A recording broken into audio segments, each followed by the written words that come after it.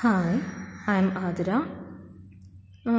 first sem start ചെയ്യാണ് നമ്മൾ അപ്പോൾ നമ്മൾ മൊഡ്യൂൾസിലേക്ക് ചാപ്റ്റേഴ്സിലേക്ക് കടക്കുന്നതിന് മുന്നേ ആയിട്ട് എന്താണ് സ്റ്റാറ്റിസ്റ്റിക്സ് എന്ന് അതിന്റെ ബേസിക് കാര്യങ്ങളെ പറ്റി ഒന്ന് പറയാം.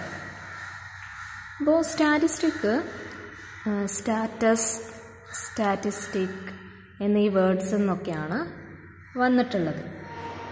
അപ്പോൾ അഡ്മിനിസ്ട്രേറ്റീവ് പർപ്പസിന് വേണ്ടിയിട്ട് ഒക്കെയാണ് സ്റ്റാറ്റിസ്റ്റിക് സ്റ്റാറ്റിസ്റ്റിക്സ് യൂസ് ചെയ്തിരുന്നത്. അങ്ങനെയാണ് ഇതിന്റെ ഒറിജിനൊക്കെ വരുന്നത്. മുന്നുള്ള ടൈമുകളിൽ അപ്പോൾ ഒരുപാട് ഡെഫിനിഷൻസ് ഉണ്ട് സ്റ്റാറ്റിസ്റ്റിക്സിന് അതിൽ രണ്ട് ഡെഫിനിഷനാണ് ഇവിടെ കൊടുത്തിരിക്കുന്നത്. First definition definition in plural sense by statistics we mean aggregates of facts affected to a marked extent by multiplicity of causes numerically expressed, enumerated, or estimated according to a reasonable standard of accuracy, collected in, in a systematic manner for a predetermined purpose and placed in relation to each other. Professor Horace സാക്രിസ്റ്റിന്റെ ഡെഫിനിഷനാണത് അപ്പോൾ അതെന്താ പറയുന്നത്? Statistics എന്ന് പറയുന്നത് aggregate of facts ആണ്. അതായത് ഒരു single figure statistics ആവില്ല. അഗ്രിഗേറ്റ് ഒരു കൂട്ടമാണ് ഉദ്ദേശിക്കുന്നത്. ഒരു കൂട്ടം ഫാക്ട്സിന്റെ ഒരു കൂട്ടമാണ് സ്റ്റാറ്റിസ്റ്റിക്സ് അപ്പം ഫോർ എക്സാമ്പിൾ പറഞ്ഞു കഴിഞ്ഞാൽ നിങ്ങളൊരു ക്ലാസ്സിലെ ഒരു സ്റ്റുഡന്റിന്റെ ഹൈറ്റ് എടുത്തു കഴിഞ്ഞാൽ അതൊരു സിംഗിൾ ഫിഗറാണ് അത് സ്റ്റാറ്റിസ്റ്റിക് സ്റ്റാറ്റിസ്റ്റിക്സ് ആവില്ല.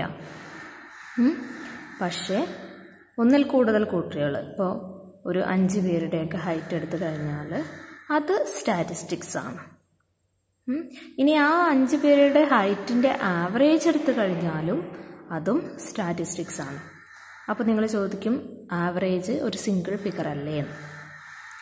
ആവറേജ് ഒരു സിംഗിൾ ഫിഗറാണ് പക്ഷെ അത് റെപ്രസെന്റ് ചെയ്യുന്നത് ഒരു ഗ്രൂപ്പ് ഓഫ് ഫിഗറിനെയാണ് അല്ലേ? നമ്മൾ അഞ്ചെണ്ണത്തിന്റെ ആവറേജ് ആണ് കാണുന്നത്. ആ അഞ്ചെണ്ണത്തിനെയും അത് റെപ്രസെന്റ് ചെയ്യുന്നുണ്ട്.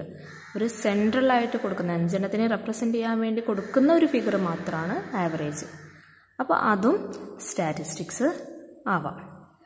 ഓക്കെ സ്റ്റാറ്റിസ്റ്റിക്സ് എന്ന് പറഞ്ഞാൽ അഗ്രിഗേറ്റ് ഓഫ് ഫാക്ട്സ് ആണ്.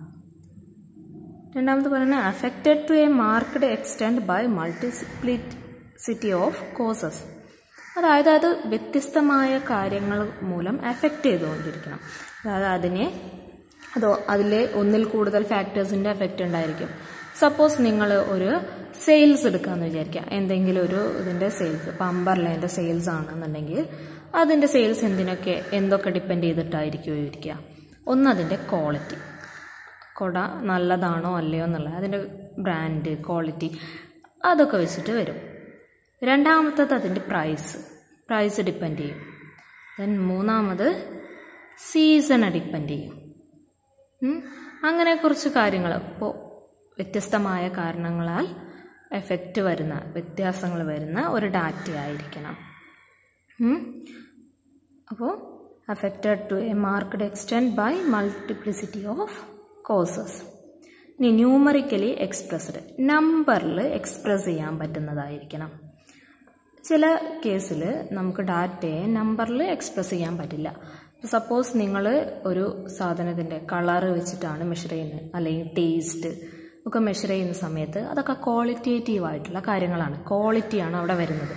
കളറ് നോക്കുകയാണെന്ന് വെച്ചാൽ വെള്ളയാണോ ചുവപ്പാണോ അങ്ങനെയുള്ള കാര്യങ്ങളെ നമുക്ക് പറയാൻ പറ്റുള്ളൂ. അതിനൊരു നമ്പറിലേക്ക് മാറ്റുക എന്ന് പറയണത് നമ്മൾ ഒന്നെങ്കിൽ ബൈനറി കോഡൊക്കെ വെച്ച് കൊടുക്കുക. അല്ലെങ്കിൽ നമ്മൾ ഇങ്ങനെ കൊടുക്കാറില്ലേ ഹൈ മീഡിയം ലോ എന്നൊക്കെ ഉള്ളതിന് വൺ ടു ത്രീ അങ്ങനെ നമ്പേഴ്സിലേക്ക് മാറ്റിയിട്ട് ചെയ്യാൻ പറ്റുള്ളൂ.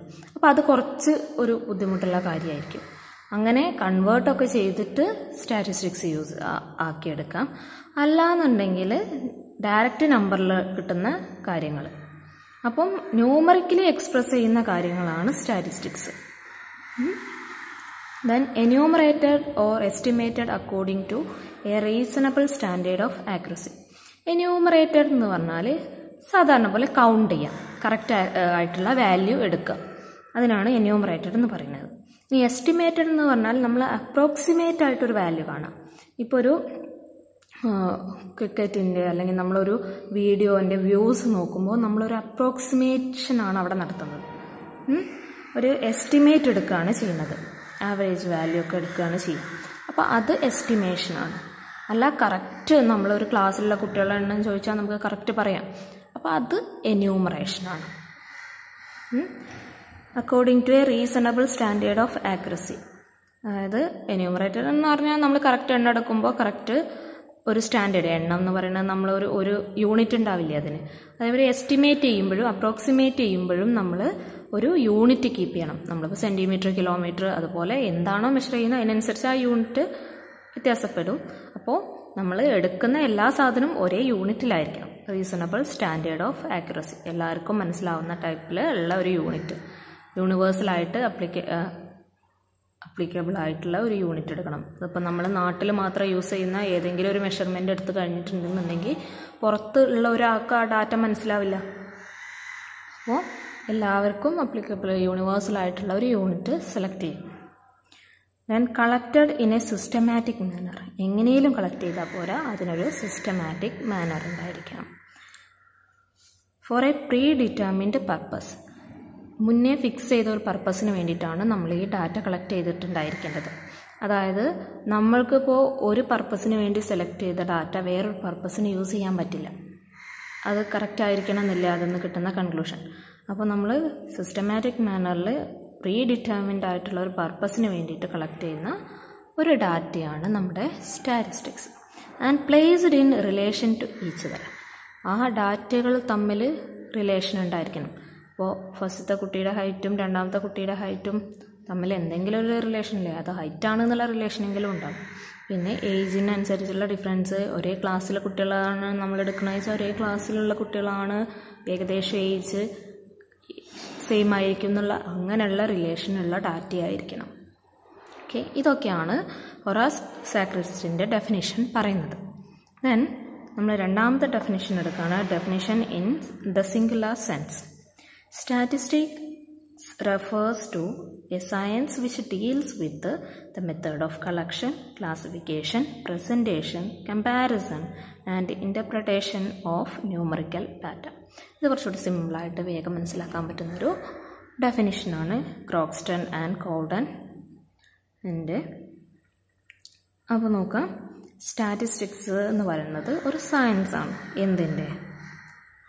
കളക്ഷൻ ഡാറ്റയുടെ ന്യൂമറിക്കൽ ഡാറ്റയുടെ collection classification presentation comparison and interpretation ഒരു ഡാറ്റ കളക്ട് ചെയ്യുന്നത് മുതൽ ആ ഡാറ്റയെ ക്ലാസിഫൈ ചെയ്യുക പ്രസന്റ് ചെയ്യുക കമ്പയർ ചെയ്യുക ഇന്റർപ്രറ്റ് ചെയ്യുക എന്നുള്ളതൊക്കെ അതിന്റെ ഒക്കെ കൂടെ ചേർന്നതാണ് സ്റ്റാറ്റിസ്റ്റിക്സ്. അതൊരു പ്രൊസീജിയറാണ് ഓക്കെ ഇത്രയാണ് സ്റ്റാറ്റിസ്റ്റിക്സിന്റെ ഡെഫിനിഷൻ അത് രണ്ടും മാക്സിമം പഠിക്കാൻ നോക്കുക. നിങ്ങൾക്ക് സിമ്പിളായിട്ട് ഡെഫിനേഷൻ ചോദിച്ചു കഴിഞ്ഞാൽ ഇത് എഴുതിയാലും മതി. പക്ഷേ ഇത് നിങ്ങൾ പഠിക്കുകയാണെന്ന് വെച്ചാൽ സ്റ്റാറ്റിസ്റ്റിക്സിനെ പറ്റി കുറച്ചും കൂടി വൈഡായിട്ടുള്ള ഒരു വ്യൂ നിങ്ങൾക്ക് കിട്ടും. അപ്പോൾ ഇതിൽ നിന്ന് സ്റ്റാറ്റിസ്റ്റിക്സ് ഏതൊക്കെ സാധനങ്ങൾ സ്റ്റാറ്റിസ്റ്റിക് ആവാം സ്റ്റാറ്റിസ്റ്റിക്സ് ആവാം എന്നുള്ളൊരു ഐഡിയ കിട്ടും? അതുകൊണ്ടാണ് ഈ ഡെഫിനിഷനും ഇമ്പോർട്ടന്റ് ആണ്. ഓക്കെ ഇത്രയാണ് സ്റ്റാർട്ടിങ്ങിൽ പറയാനുള്ളത്.